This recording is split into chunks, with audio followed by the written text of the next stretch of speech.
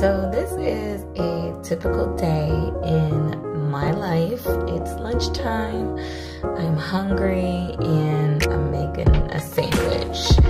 So, I'm using Tofurky. If you've ever seen that brand, I mean, you can use whatever brand you want, but um, those are the brand of deli slices, vegan deli slices that I chose to use.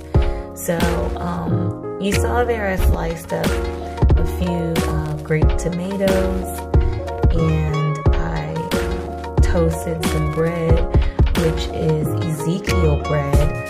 I, I love the different breads that they have. My favorite one is sesame, so that's the one I used. And uh, Hellmann's has a vegan mayo, so that's what I used. I've also used Follow Your Heart before, but you know, whatever. Whatever I see at the store I'm at at the moment. Um, so now I'm spreading on some um, spicy brown mustard.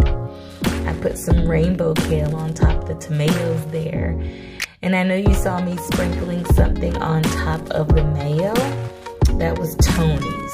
Tony's Chachere's, the original kind. I have like several different kinds, but that was the original kind that I was sprinkling. I like to give my sandwiches a little kick, you know what I'm saying? You can't just have a bland sandwich. So right now, um, I couldn't find the slices of the pickles, you know, the sandwich slices.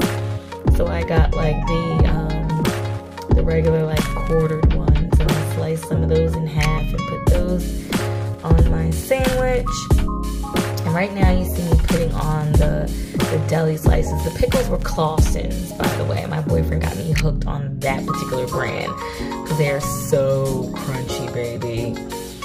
Um, yeah, so I just closed up my sandwich, cut it in half, and put some tortilla chips on the side.